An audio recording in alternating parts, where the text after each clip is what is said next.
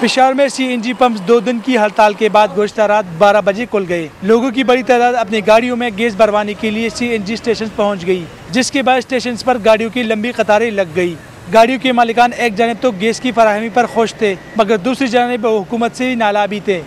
بچوں کو اسکول جانے کا بڑا مسئلہ ہوتا تھا، آفس جانے کا بڑا مسئلہ ہوتا تھا۔ ابھی بہتر ہے شکر ہے۔ جو سے لیڈر صاحبان وہ تو اوپر بینک بیلنس لے جا رہے ہیں باہر ملک سے۔ لوور طبقہ مڈل طبقہ نیچے جا رہا ہے غرق ہو رہے ہیں ان کی پالیسی یہ غلط پالیسی کر رہے ہیں۔ اب بھی پتہ نہیں ہے کہ شام کو پھر ملے گی کہ نہیں ملے گی۔ اس میں کیا خوشی کی کوئی بات نہیں ہے۔ سی این جی اسٹیشن کے کھلنے پر پشاور کی سڑکوں پر ایک مرتبہ پھر ٹریفک کی روانی بڑھ گئی ہے۔ سی این جی پمپس مالکان کا کہنا ہے کہ گیس کا پریشر کم ہے۔ تاہم وہ اس بات پر خوش ہے کہ حالات بہتر ہو گئے ہیں۔